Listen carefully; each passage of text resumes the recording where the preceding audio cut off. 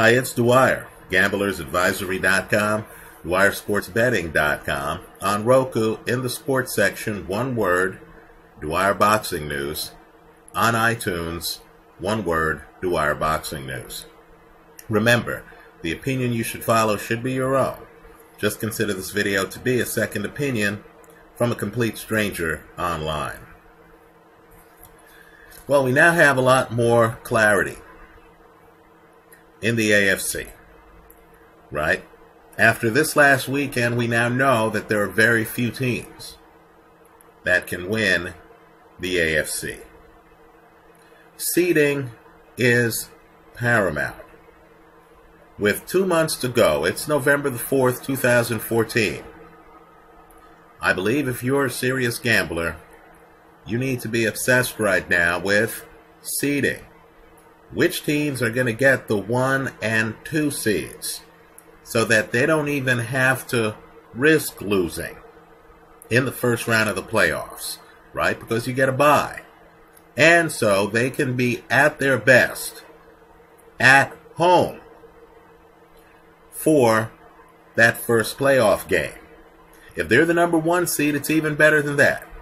If they win their first playoff game, then they're at home for the AFC Championship game. Now, I believe it's obvious, I believe history tells us that it's very hard to beat Tom Brady and the New England Patriots in New England in the playoffs. Right? We know it's hard. Now, I know, as Baltimore Raven fans know, it has been done. But it's extremely difficult. Right? Now, as I suspected, and to those of you who bought the pick at DwyerSportsBetting.com, I do not believe that the Denver Broncos, with an elite quarterback who's now older and who no longer has elite arm strength at this stage of his career, and with a history of losing to Tom Brady in big games, can do it. In other words, to me, last year's AFC Championship game turned on the fact that the game was in Denver and not New England. I believe even with a vastly improved defense, Denver showed us this last weekend that they would have problems. It would be a major uphill battle for them to go to New England and to beat New England in New England. Let me go one step further. Denver has other problems because, of course, Denver even now has played most of their games at home. Their record seems to have a home field advantage aspect to it that other teams don't have. What I want you to do is to research where Denver has been playing their games. Right? Understand, the NFL wants to sell tickets. They want to make money. They wanted to create games where Peyton Manning, who was closing in on Brett Favre's record, would be in a friendly environment. What that has done is that's left Denver in the second half to play most of their games on the road. Right? Food for thought. But let me get back to the concept of home field advantage. I don't believe Denver beats New England in New England in the playoffs if that game happens. Nor do I believe that the Cincinnati Bengals and Andy Dalton, who have a history of coming up short in the playoffs wherever the game is played can do it. Right? We all saw last year what happened when Andrew Luck and the Indianapolis Colts tried to beat New England in New England in the playoffs. So understand the challenge facing teams, and they're not that many, like the Denver Broncos and the Indianapolis Colts, for the rest of this season will be to deny the New England Patriots the top seed in the AFC. Now let's get a little advanced here. Let's talk playing style here just for a second. Personality type. There are two quarterbacks, in my opinion, who are wild cards. Right? These guys have the ability in January to actually deliver wherever they are if they're on their A games. And that's Ben Roethlisberger of the Pittsburgh Steelers, and that's Joe Flacco of the Baltimore Ravens. But understand, as gamblers should know by now, Big Ben's defense is not all that. Right? Dick LeBeau is dealing with a young defensive group, and this is not a typical Steeler defense. Right? So I would say that the Steelers, even with a good record, will have problems in the playoffs on the road. Let's talk about the Baltimore Ravens. Right? Few quarterbacks have Joe Flacco's record of success in the playoffs. Here's the problem. Right now, Baltimore, after losing some games of late, is at the bottom of their division. Right? Always pay attention to these wild card type teams. These teams that can rise up. The teams I believe that can beat the paradigm that would have the best chance of beating New England in New England in the playoffs would be Pittsburgh. It'd have to be a shootout, right? And Baltimore. But understand the way the season has broken, neither of them leads their division right now. Cincinnati does. And that's a brutal division where the teams are going to beat up on each other. Right? Baltimore can't afford too many more losses or they might miss the playoffs entirely, neutralizing them as a threat. Right? So just pay attention to those two teams. Now, getting back to the agenda I have in this video, it's to highlight two weeks out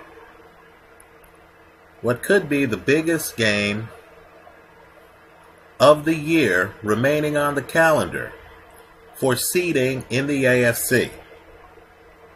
Understand in two weeks, after both teams have their bye weeks, and that's crucial.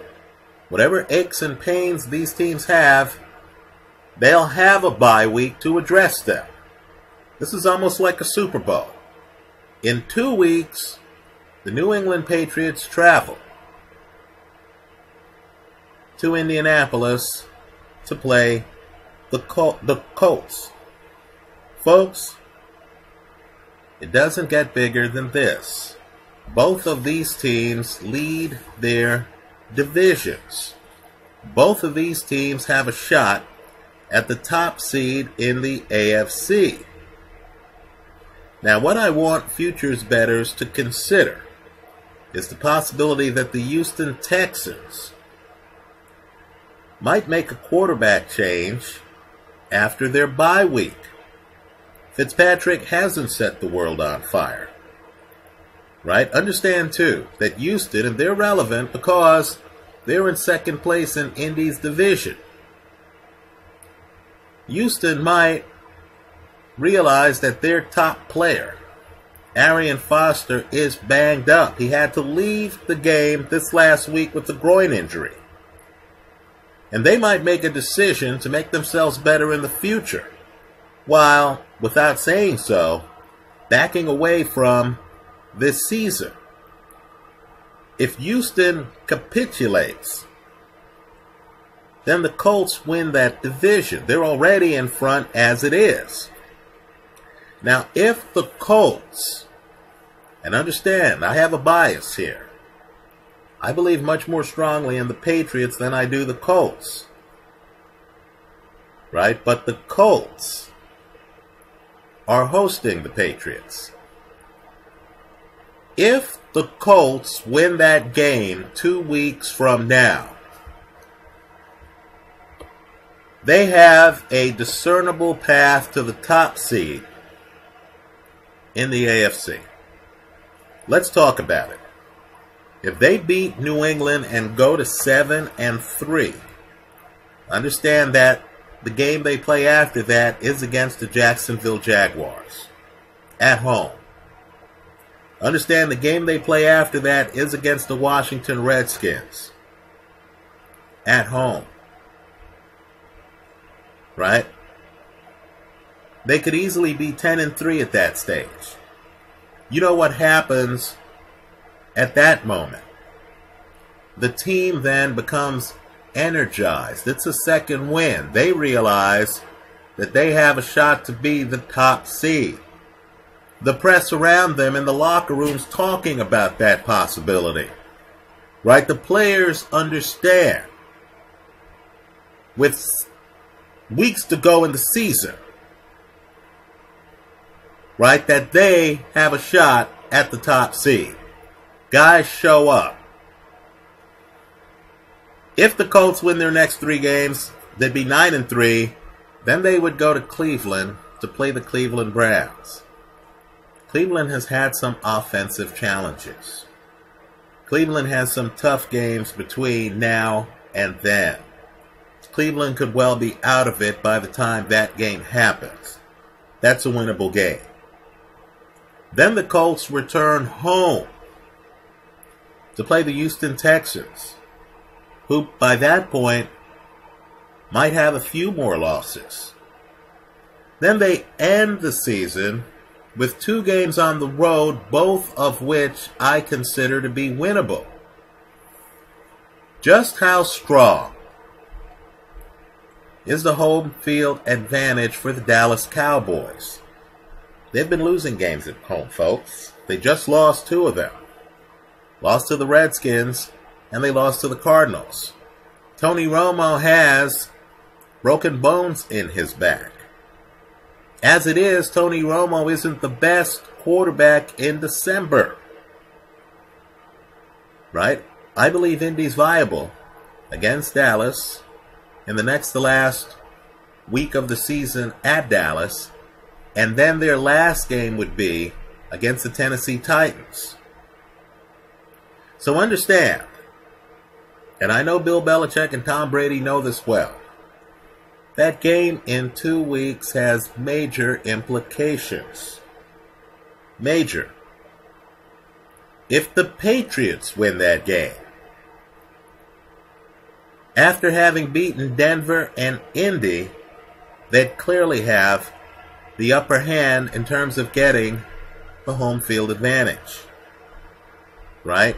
If Indy wins that game, they might have the upper hand in terms of getting the home field advantage, and it's paramount for them, especially because Andrew Luck in playoff games throws picks. And I don't believe Indy would have a shot against the Patriots in New England. So, what does this all mean for serious gamblers? It means right now, I believe you want to grab a couple of futures bets right? I believe Vegas has this wrong. They think the team most likely to win the Super Bowl are the Denver Broncos, and they're giving you a plus 275. We know based on scheduling that the team that might have the best path to get that home field in the AFC might be the New England Patriots. They're at a plus 600. Understand, I took the Patriots months ago as I recommended in a video and got much higher odds than that. But the plus 600 is ridiculous because New England's already by Denver.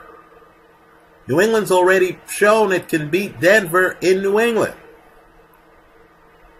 Right? Just look at history. Tom Brady is absolutely dominant. In New England, he doesn't lose that much at home. He simply doesn't. You're getting better than twice the odds you would get taking the Denver Broncos. And keep in mind, the Broncos play a lot of road games the second half. I would argue the Broncos are even in the more problematical division right? Because KC's lurking out there. Guys like Jamaal Charles, hey, they're tough opponents. Well, understand, as you sprinkle some funds on New England at plus 600 to win the Super Bowl, understand you can get double those odds it's breathtaking, folks. You can get a plus 1200 right now on the Indianapolis Colts. Now, you saw Andrew Luck yesterday against the New York Giants. If Andrew Luck, after a week's rest, after a bye week, can somehow knock off the Patriots in two weeks, given this schedule against teams like Jacksonville and Tennessee, with a Houston team whose best player is injured, a Houston team that might be making a quarterback change. Right? Keep in mind they traded for Ryan Mallett for a reason. Then don't you think this 12 to 1 is just a bit generous. Andrew Luck has had problems in the playoffs, but he did beat KC last year at home after a terrible first half, didn't he? Understand the way these futures bets work. All you're doing is staking out a position. You can hedge against it later. All you're trying to do is to get the cheap leverage that the casino is giving you. Understand, it looks to me like Indy's almost certain to win their division. If Indy makes the playoffs, let's say they're the two seed, not even the one seed. And I've gotten 12 to 1 odds on them. Just understand, I'm not at risk of losing anything the first week of the playoffs because Indy wouldn't be playing. Then the second week of the playoffs, I'd have Indy at home even if I didn't believe in Indy, since I've gotten 12 to 1 leverage on the Indy side of the play, I could take the team they're playing. Right? And net a profit regardless of who wins the game. Right? So take a hard look at the futures props. Take a hard look at the schedules for the Patriots and for the Indianapolis Colts. Keep in mind, we're just talking about the AFC. Why? Because you have more clarity in the AFC. Let's face it, that NFC is a mess. How healthy is Tony Romo? How well will Mark Sanchez do? Aaron Rodgers is great. Can you say the same thing about the Packer defense? Who here watching this video really trusts the Detroit Lions? Right? The New Orleans Saints, their record looks pedestrian. Wow, that team looks dangerous. What happens if they take out San Francisco this weekend and end San Francisco's season? How much do you trust the Arizona Cardinals? right? Aren't you a little bit thrown by how pedestrian the Seattle Seahawk offense has looked? Weren't you a little bit surprised to hear that Marshawn Lynch hadn't scored a touchdown in weeks before this last game? Aren't you a bit perturbed by the idiots in that Seattle Seahawk locker room who are wondering whether their quarterback, the one that won a Super Bowl for them last year in his second season, is black enough. Right? So the NFC is smoking. The AFC is not. It's the usual suspects. Tom Brady, Peyton Manning, Andrew Luck, all of whom made the playoffs last year. Right? All of them. Right? Andy Dalton, another one. Then you got a couple of wild cards right? Joe Flacco, who has a Super Bowl ring, then Roethlisberger, who has multiple, right? Let's face it. Philip Rivers, the Chargers, their rushing attack might be too depleted for them to continue to be taken seriously. What happened in that game against Miami anyway? Well, I believe the AFC is giving you more visibility I believe it doesn't take a rocket scientist to realize that the Indianapolis Colts right now are getting longer odds than teams like the Packers and the Cardinals. Right? I believe it's clear that the Colts offer value, especially when They're hosting the Patriots in two weeks. And they already have the upper hand in their division, and their schedule after that Patriot game is very manageable and has them playing teams like RG3 and the Redskins in Indy. Give it a look. Let me know what you think. If you feel I'm overlooking a team, if you feel there's some team out there that we should all know about, right? If you feel there's a pathway to the playoffs and to a decent seeding, right, based on a team's remaining schedule, I hope you share it with all of us here in the comment section to this video to help give all of us gamblers a leg up on the casino. Thanks for stopping by.